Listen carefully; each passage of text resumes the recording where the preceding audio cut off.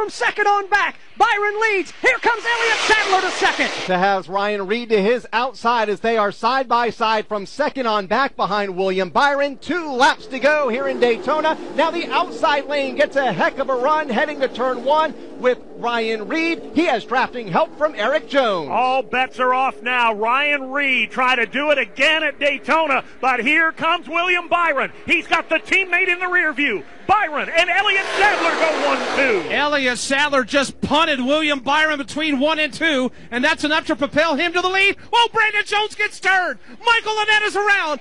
Matt Tifft now five, ten cars crash and collide. Half the field flying apart on the back straightaway. They're continuing to crash in turn three.